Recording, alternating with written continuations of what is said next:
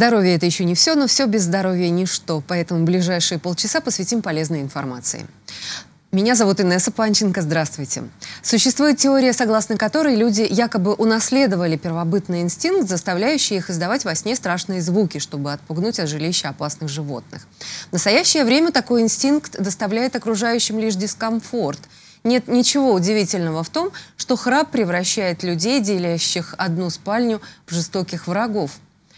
А, в семье нарушается гармония, и иногда это приводит к разводам. Но, кроме неудобств для окружающих, храпящий человек подвергается опасности еще и сам. Об этом подробнее поговорим сегодня.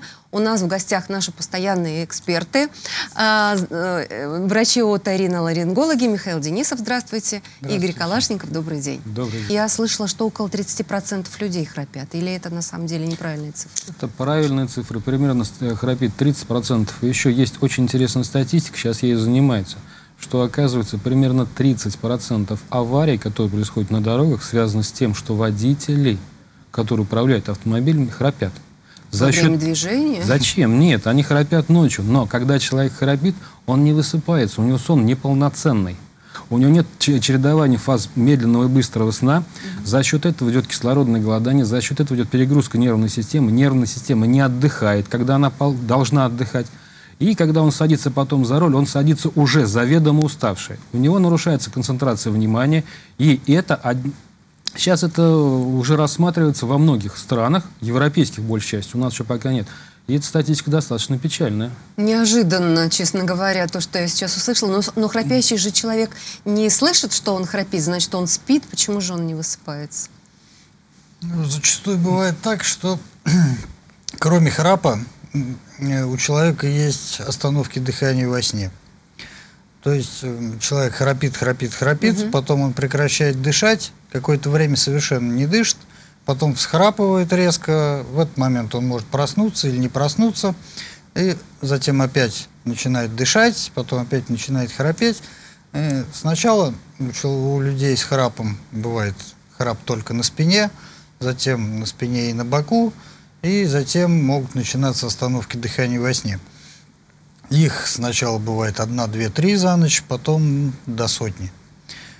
Если около ста остановок дыхания во сне, то человек половину времени просто не дышит. И в это время, когда он не дышит, головной мозг, естественно, не получает кислород. И идет перенасыщение тканей углекислотой, и, соответственно, все те эффекты, о которых Игорь Александрович рассказал. Мы также видели ну, неоднократно видим пациентов, которые не высыпаются ночью, они э, порой не отдают себе в этом отчет, но они начинают засыпать на совещаниях, на каких-то мероприятиях. Вот, у То нас есть человек был... как будто бы чувствует себя нехорошо, да, да. уставшим, разбитым, да. уставшим, но он разбитым, не отдает себе отчет. Да, не отдает себе отчет в том, что именно это связано с храпом. А вообще, что такое храп? Откуда идет этот звук? Вот каков механизм его появления? Вибрация занавески мягкого неба. А вот уже причин, почему она вибрирует, тут уже масса причин. Здесь это самое такое, что практически не лечится. Это поражение центральной нервной системы после инсультов там, или каких-то травм. И э, если это периферические какие-то порезы, все вот это. Конечно, основная причина это ожирение, курение, э, малоподвижный образ жизни – ну и прием алкогольных напитков, что вызывает именно нарушение иннервации мышц, которые должны подтягивать занавеску мягкого неба, и когда человек расслабляется, занавеска начинает вибрировать и издавать вот этот звуковой феномен. У каждого этого человека по-разному. У кого-то это в большей степени, у кого-то в меньшей степени она вибрирует. Но есть люди, которые храпят не всегда. А, например, вот вы сказали алкоголь, да, после там вот. э, каких-то сильных возлияний храпят, либо после приема, может быть, снотворных. А да. так в обычное, в, в смысле, в другие дни не храпят. Ну, если он просто в обычные дни не храпит, это практически не требует какого-то специального лечения.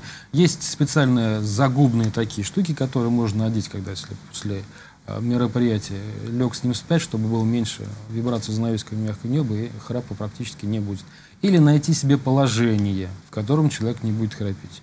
Ну, самый простой способ, как вот Михаил Ильич сказал, что храпят обычно начинают храпеть на спине – вот, ну, прикрепить себе на спину. Теннисный мячик, На, Так. спину, на спину уже не повернешься, а на боку храпеть не будешь. И поэтому сосед соседу по кровати будет очень комфортно. Скотчем приклеить, да? Ну, Это можно- вы женам сейчас советы Мо- даете. можно зашить в майку. Интересный вариант. А, ну, а в связи с тем, что человек чаще всего же не знает о том, что он храпит, если ему об этом не рассказывать, а, то он, в общем-то, и, и не воспринимает это как проблему. Ну, а если говорить серьезно, то вот эм, чем храп действительно может быть опасен для здоровья, помимо того, что человек не высыпается, там может попасть в какие-то ситуации. Как уже сегодня мы говорили про синдром сонного апноэ, так называемый, то есть остановок дыхания во сне, э, когда головной мозг человека не дополучает кислорода, и, соответственно, это провоцирует ряд совершенно неприятных моментов, таких как э, скачки артериального давления, э, повышенная утомляемость, прочее. Кроме этого, существует такое понятие, как синдром внезапной смерти во сне. Когда у человека запредельное количество остановок дыхания во сне, то когда-то он, к такой исход. сожалению, может и не задышать. Да. Поэтому это довольно серьезная проблема, и чаще всего, как вы совершенно верно сказали, люди не сами приходят к врачу. Мгм. Чаще всего его приводит жена, э, мужчина. Да? Ну да. Потому А что мужчи- э, ищ- Извините, что перебиваю, а мужчины храпят все-таки чаще? ну, чаще подавляющее большинство это проблема мужского населения. Вот. Чаще всего приводит супруга, э, зачастую очень обеспокоенный тем, что у нее муж не дышит, она просыпается, когда он ну, всхрапывать начинает и просыпаться, он, соответственно, будет жену, она начинает за ним смотреть и чувствует, что он половину времени не дышит совсем. Не дышит совсем. И вот, женщина, естественно, начинает бояться и ведет за руку мужчину к врачу. Ну, правильно делает или Абсолютно правильно делает. А, Как уже говорили, причины храпа могут быть центрального характера, о которых Игорь Александрович рассказал.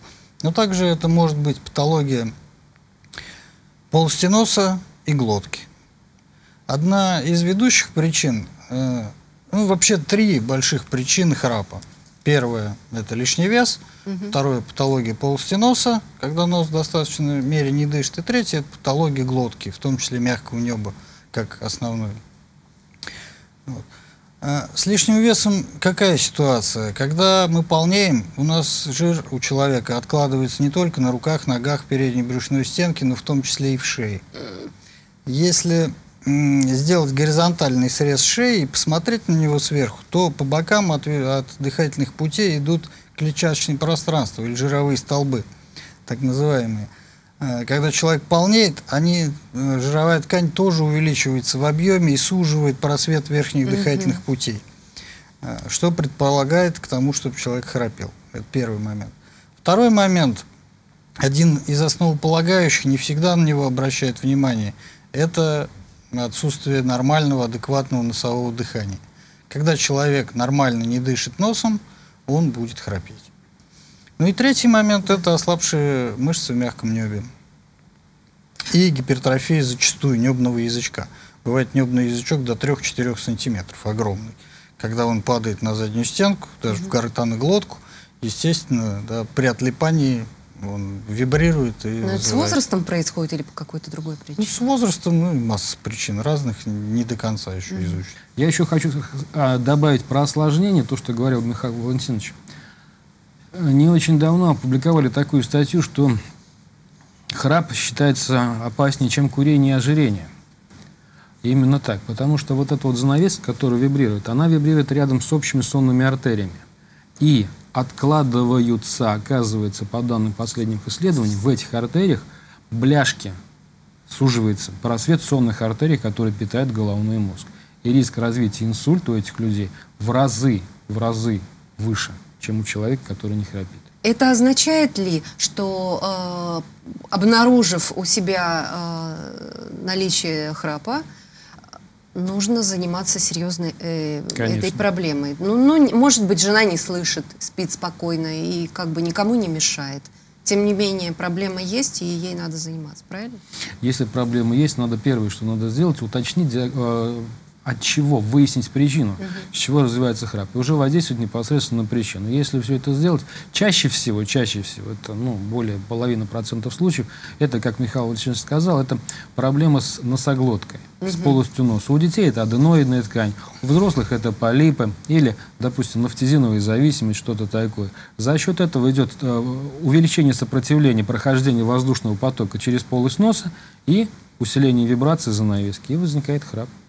Вот про заложенность носа тогда, наверное, стоит поговорить нам, может быть, по- отдельно, потому что, например, вот у меня есть множество знакомых, которые имеют, э, скажем так, как настольную болезнь. То есть они все время с носовым платком, они все время держат в сумочке капли. То, что, о чем вы говорили, это вазомоторный ринит. Вазомоторный ринит бывает нерегитативный, так называемый, бывает аллергическая форма, бывает медикаментозный ринит. То есть э, медикаментозный ринит или нафтизиновая зависимость, как в народе, в народе говорят, она э, развивается чаще всего каким образом? Если есть какие-то анатомические предпосылки в полости носа к тому, чтобы он не очень хорошо дышал, это может быть патология перегородки носа, выраженное искривление перегородки носа, может быть какая-то патология нижних носовых раковин, именно за счет которых нос дышит или не дышит. Вот на картиночке там можно будет потом показать, они видны. Э, Или патология околоносовых пазух. То есть хронический гайморит, который может быть там, адонтогенной природы, то есть от зубов, или риногенной природы от полости носа. Либо же зачастую бывает, что человек просто неправильно использовал препарат, который купил в аптеке. Сейчас у нас препараты чаще всего, к сожалению, продаются бесконтрольно. То есть любой человек может пойти в аптеку и купить любой препарат. Да, какой тем более хочет. при таком выборе сейчас э, средств для насморка, я, честно говоря, вот даже не знаю, как можно вообще Ну, самостоятельно это сделать. А, Все сосудосуживающие капли, любые, если взять аннотацию, везде написано, что их нельзя применять дольше 3-5 дней. Если применять капельки дольше, да, нос будет дышать, когда ты их закапал.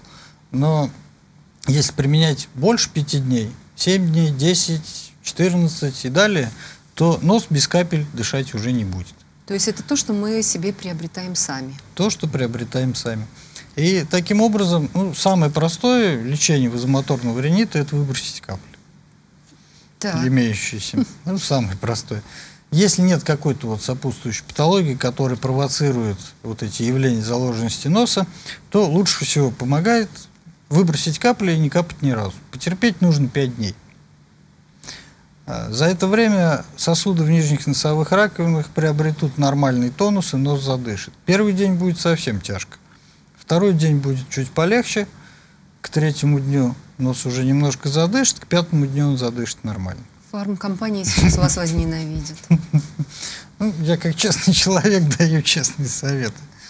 Но не всегда, к сожалению, удается избавиться от вазомоторного ринита таким путем, потому что если есть выраженное там, искривление перегородки носа или какая-то сопутствующая патология, то чаще всего надолго этого не хватит.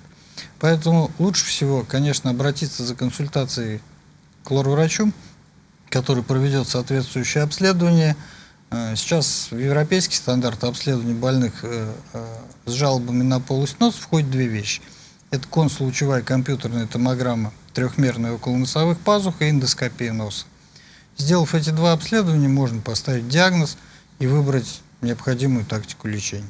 В норме в носовых раковинах содержится большое количество кровеносных сосудов, которые иннервируются импульсами, идущими из нервной системы. И нервная система поддерживает их всегда, постоянно, в тонусе, всегда постоянно поддерживает их в тонусе.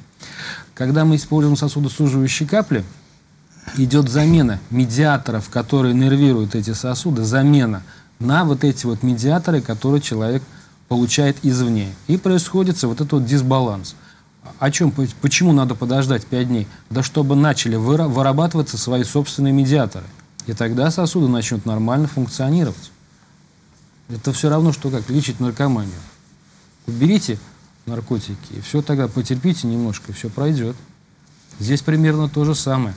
Мало того, сосудосуживающие капли, они же вроде кажется безобидные. Они всасываются в кровь, вызывают повышение артериального давления, усиление частоты сердечно-сосудистых сокращений. При беременности их вообще категорически нельзя принять, они воздействуют на плод. Ну а спортсменам тоже, потому что они являются допингом. Если спортсмен закапал нафтизин в нос, минимум двое суток он на соревнования не может выходить, он допинг-контроль не пройдет. И сейчас я хотела бы вновь вернуться к тому, с чего мы начинали, опять-таки к храпу. Вот, э, как мы уже с вами проговорили, первое, это нужно определить причину. Да? Причин Михаил Валентинович назвал три, я, по крайней мере, так запомнила. Э, основные, Основные, да? да. основные три причины. И, может быть, кому-то показалось странным, а почему, собственно, мы про храп говорим э, С с носом. оториноларингологами, да. Так вот, чтобы было понятно, почему. Э, Нос. нос. Ожирение вы явно лечить не нет. будете. Когда мы начинаем лечение храпа, первое, что мы должны, самое первое, что мы должны сделать, восстановить нормальное носовое дыхание у человека. Нормальное носовое дыхание. Он должен очень хорошо дышать носом. Если он будет хорошо дышать носом, могу вас уверить, что 60% храпа сразу пройдет. Даже больше. А уже дальше, следующий этап, делается э, операция на занавеске мягкого неба. Уменьшается занавеска мягкого неба в размерах и подтягивается, натягиваются мышцы. Каким способом их э, много? Можно э, это лазером, можно радиоволнового метода, к аблации и так далее. Сейчас методов много. Все это направлено на уменьшение, э, увеличение просвета и на уменьшение вибрации занавески мягкого неба. Наверное, не обязательно лечение предстоит хирургическое. Нет, естественно, не всегда нужно хирургическое лечение, тем более при множественных остановках дыхания во сне, когда их доходит до 100, и в некоторых случаях хирургическое лечение просто противопоказано пациентам. А, Здесь нужно начать с лечения у диетолога и с похудания, убирания лишнего веса для того, чтобы расширить объем верхних дыхательных путей за счет уменьшения жировой клетчатки в шее. Существует так называемый способ СИПАП-терапии. Это специальный аппарат, который создает повышенное давление в верхних дыхательных путях. Это масочка, шланг, который идет к аппарату, который постоянно э, э, в тот период, когда человек спит, создает повышенное дыхание в верхних дыхательных путях. В этот момент человек не храпит, и у него нет остановок дыхания во сне. Ну, к сожалению, у этого способа тоже есть ряд своих недостатков. Как всегда, есть две стороны медали. Не все пациенты могут привыкнуть к тому, что он привязан во сне к аппарату. Потому что если человек лежит на спине или на боку, он надел масочку, аппарат работает, э, не всегда комфортно спать с чем-то на лице, как в противогазе. По поводу восстановления носового дыхания, да, мы наблюдаем в своей практике, что зачастую, да, около 60%, иногда даже чуть больше цифры, наверное, до 70%, когда даже тучный человек, у которого проблема, бывает, выраженное искривление перегородки носа, перегородку поправили, полости носа все зажило, но на результат операции надо смотреть по поводу храпа, да, э, не раньше, чем через месяц, когда восстановится носовое дыхание, восстановится слизистая оболочка после хирургического лечения и прочее. И зачастую человек приходит там, на контроль досмотр и говорит, доктор, я перестал храпеть. Красота. Или жена там очень-очень довольная, говорит, ой, муж не храпит, красота, лежит, спит. И иной раз даже супруги говорят, «А, вы знаете, я теперь ночью просыпаюсь и прислушиваюсь, он живой Не или нет. умер. Я все время слышала, как он шумно дышит и прочее, а тут он лежит себе спокойненько, дышит как младенец, носом ничего, никаких звуковых эффектов не создает. Вот. Это первый момент. Второй момент э, патология околоносовых пазух. Хронический гайморит, э, там вот у нас будет, наверное, картинка с кистами околоносовых пазух, которые провоцируют заложенность носа, провоцируется храп и прочее. Обследование надо провести, естественно. Надо сделать со стороны лор-врача, э, сказали уже, полисомнография. Следующий момент – это обязательно видеоэндоскопия полости носа, эндоскопическое обследование. В одной из программ мы подробно об этом рассказывали. И консулучевая компьютерная томография для того, исключения патологии пазух околоносовых, хронического гайморита и чего-то еще. И обязательно выполняется видеоэндоскопия глотки в положении лежа на спине. Как раз мы можем с эндоскопом на большом экране посмотреть, что же там происходит в горле у человека, каким образом, какова подвижность мягкого неба, а, падает ли куда-то у нас маленький язычок в гортанную глотку и прочее. Когда мы провели комплексное обследование, мы понимаем, с чего начинать. Либо надо поправить нос, если с носом и носоглоткой все в порядке, то надо, можно перейти там, к лечению глотки. Зачастую, вот раньше считалось, что аденоидов у взрослых не бывает. Э, с развитием эндоскопической техники мы теперь понимаем, что аденоиды у взрослых бывают. И зачастую происходит именно так, что человек храпит, в полости носа лор-врач его, если посмотрел без эндоскопа, все в порядке, ровная перегородка, абсолютно нормальная носовая раковина, храп имеется, а бывает, что аденоиды, которые остались у взрослого человека с детства, который не удалили, огромный аденоид, который присутствует в носоглотке, он вызывает затруднение носового дыхания и храп. После коррекции все нормализуется. А есть способ лечения храпа, который помогает абсолютно всем? На Западе, в Соединенных Штатах Америки, запатентовано а, более 200 методов лечения храпа. Более 200. Если бы хоть один способ давал стопроцентный результат – Соответственно, зачем нужны остальные 199? Стопроцентной гарантии нет ни один метод. Но если мы у человека, тот, у которого храпит, уберем синдром апноэ, остановку дыхания во время храпа, то мы ему однозначно продлеваем жизнь на несколько лет. Это продлит ему жизнь. А вот теперь скажите, пожалуйста, а часто ли обращаются к вам с такой проблемой? Вот мы сейчас обозначили, что она серьезная. Основная масса, конечно, взрослые не так часто обращается. Основная масса обращается это детей, дети. За счет увеличения аденоидной ткани, о чем говорил Михаил Валентинович, увеличится аденоидная ткань у детей, дети начинают храпеть. У детей надо обязательно эту проблему решать. Потому что у ребенка формируется нервная система, и если он будет храпеть, у него будет недостаток кислорода, как образно говорят, головной мозг будет неправильно развиваться, и умственные способности ребенка они будут ниже гораздо, чем у сверстников, которые не храпят. Поэтому детей лечить храп это э, в обязательном порядке надо. Взрослые обращаются, но в основном, как и говорил Михаил Валентинович, приводят жены мужей своих, когда уже там такие вот. Иногда обращаются и мужчины, но не так часто. Огромное спасибо вам за консультацию. Я надеюсь, что вот сегодня уже, может быть, стало понятнее, что проблема действительно серьезная, и э, ее решением просто необходимо заниматься. У людей с синдромом апноэ повышается давление, они чаще страдают болезнями сердца, постоянно мучаются дневной сонливостью и жалуются на плохой сон. У мужчин развивается импотенция. Вероятность инфаркта и инсульта у больных этим синдромом увеличивается в 3-5 раз. Нужно ли вам это? Подумайте. Всему удалось найти применение, кроме храпа, сказал когда-то Марк Твен. До свидания.